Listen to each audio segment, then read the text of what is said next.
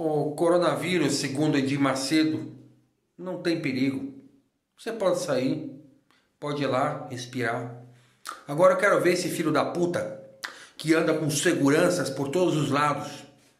Eu quero ver esse, esse, esse, esse demônio travestido de, de, de, de bispo sair pra rua sem os 15 seguranças que, ele, que andam com ele. Sai de helicóptero, não tem contato com o povo. Hum? Fala. É assim que você orientava muitos de seus pastores que nem sequer tocam no povo. A distância dele para o povo é imensa. Eles nem sequer tocam nas pessoas. Eles tratam as pessoas como seres bacteriológicos, como bactérias vivas. É assim que esses desgraçados tratam as pessoas. Eu sei porque eu passei, eu vivi no meio da Igreja Universal, eu conheci esse tipo de, de gente da mais sórdida, do mais sórdido nível de caráter. Eu tive como namorada a filha de um bispo, ou melhor, a enteada de um bispo que era pedofilada desde pequeno. Uma criminosa, né? Pese, porque se fosse só isso ela seria vítima. Mas é tão criminosa, se tornou criminosa, tal como o padrasto. Mentora intelectual de no mínimo dois latrocínios. É, um foi de um amigo meu chamado Rogério Gaspar, e outro foi de uma outra pessoa que na hora certa vocês vão saber. Entendeu? Então, vocês fiquem tranquilos, meus amigos. Esses desgraçados serão desmascarados. Derrubo os canais, levanto, tem outro, não tem problema. Edir Macedo, você deveria ser preso, cara. Você deveria ser preso. Ou melhor, você, seu criminoso, seu genocida, seu bandido, seu ladrão estelionatário, porque esse ladrão estelionatário é o mínimo. Você é um psicopata em série.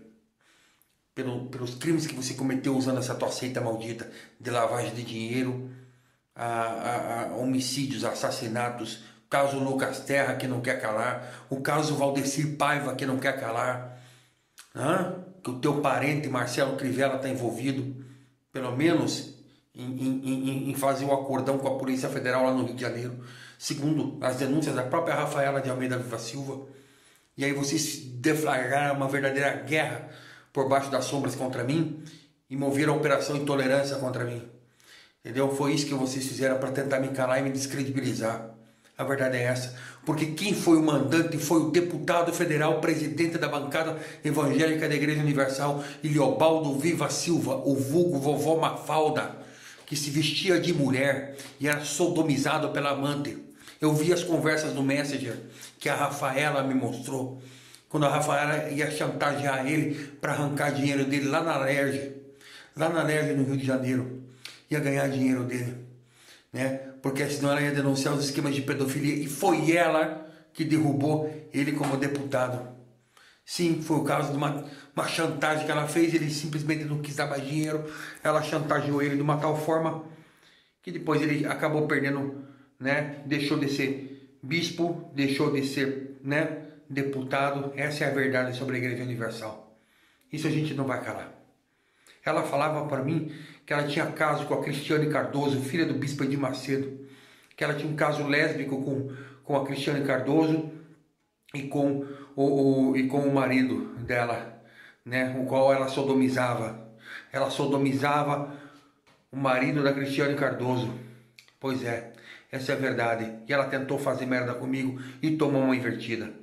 Tomou uma invertida, mandei essa mulher a merda. Entendeu? Vocês estão mexendo com homem de verdade, vocês não estão mexendo com lixo. Vocês estão mexendo com um verdadeiro guerreiro. Entendeu? Essa ação com Dalila? Pois é, pode ser. Só que eu levo um monte junto. Entendeu? Então escuta. Edir Macedo, seu desgraçado.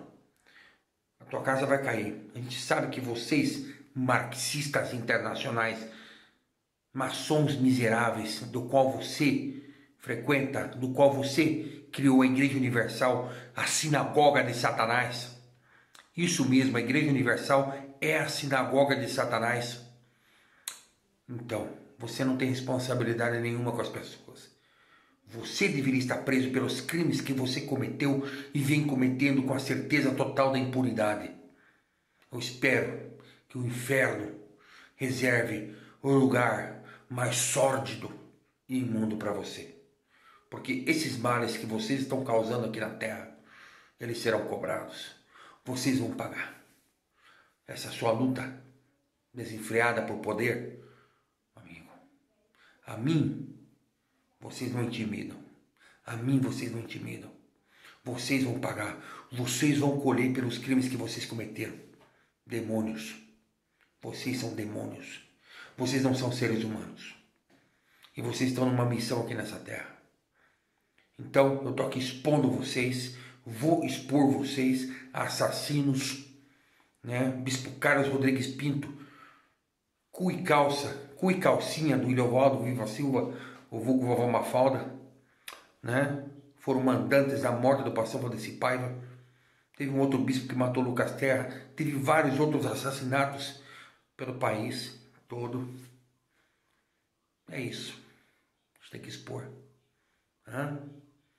E agora esse, esse regime Bolsonaro. Por que só tão pouquinhas mortes, hein? Sabendo que a gente tem, sabe, tem muito mais por aí. Hum? Hum? A gente sabe disso. Isso que está acontecendo aqui na Itália, na Espanha, no Irã, é uma guerra biológica deflagrada pelos marxistas internacionais que querem se posar de santos. É isso que está acontecendo, tá bom? Até mais.